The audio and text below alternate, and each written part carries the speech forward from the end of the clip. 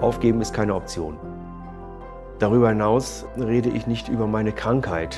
Ich sage, ich bin ja nicht krank. Ich sage immer, ich bin anders gesund. Das hat nichts mit dem Verdrängen der Erkrankung an sich zu tun, sondern ich möchte ja aus meinem Leben noch etwas machen. Das hat man auch hier bei vielen anderen Patientinnen und Patienten gespürt. Und natürlich gab es auch mal Tage, da war ich dann natürlich auch nicht mehr so gut drauf. Das ist einfach die Überanstrengung war halt da. Aber am zweiten Tag danach haben wir dann da wieder angegriffen an diesem Punkt und haben dann gesagt, so, da setzen wir wieder an, da legen wir wieder los, erinnere dich zurück. Und dann haben wir wieder äh, losgelegt. Und ich war total begeistert, dass ich hinterher von den knapp zehn Metern, die ich eigentlich nur noch äh, irgendwo an der Stange gehen konnte, mit dem Therapeut dann letztendlich den Flur entlang gehen konnte. Und das war halt, das war das, was mich, ja, wie soll ich sagen, positiv überrascht hat.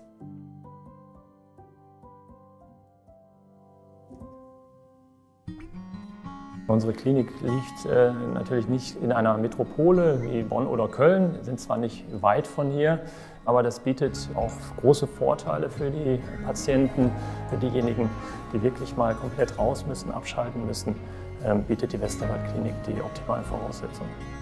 Wir sind vielseitig eingesetzt. Es gestaltet sich zwischen Einzeltherapien und Gruppentherapien. Wir sind im ganzen Haus tätig. Einzeltherapieräume, wir können die Sporthalle nutzen, das Bewegungsbad, die Trainingstherapie. Wir können auf Station gehen, wir können das schöne Außengelände nutzen. Von daher ist jeder Tag abwechslungsreich und nie typisch.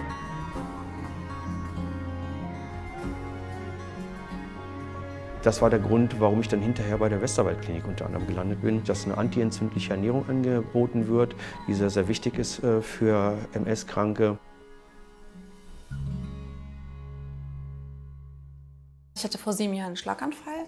Also ich stehe voll im Berufsleben. Diese vier Wochen, die ich jetzt hier war, haben einem noch mal so ein bisschen wieder runtergebracht und es noch mal bewusst gemacht, dass man ein bisschen auf sich achtet. Und genauso bin ich halt in die Klinik gegangen und habe gesagt, ich gehe hier schlecht rein und ich gehe erhobenen Hauptes wieder raus. Und äh, ja, das habe ich getan.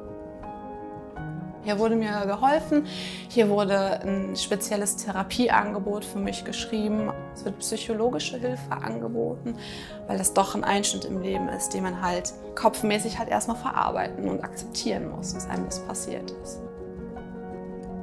Was das Besondere ist, ist zum einen der Beziehungsgedanke und das zum zweiten, dass wir ja die kreativtherapeutischen Verfahren, also alles, was nonverbal ist, wirklich nicht nur als Add-on-Therapie auf dem Papier anbieten, sondern dass wirklich in unserem Teamgedanken das ein ganz fester Bestandteil ist.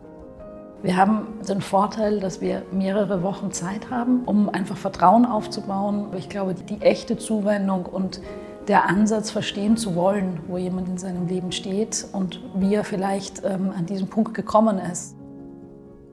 Die Meinung der Therapeuten ist extrem wichtig. Wir haben hier viele erfahrene Therapeuten und deswegen ist es wichtig, dass man da auch Entscheidungen gemeinsam trifft. Unsere Aufgabe und unser Auftrag ist sicherlich auch Anstöße zu geben, den Patienten zu beraten, was gemeinsam mit ihm auch zu erarbeiten was an seiner bisherigen Lebensführung zu verändern. Das war eigentlich für mich von Anfang an äh, faszinierend, äh, weil man dann auch sehen konnte, was man durch eine intensive, gute Reha mit teilweise auch schwer betroffenen Patienten erreichen kann.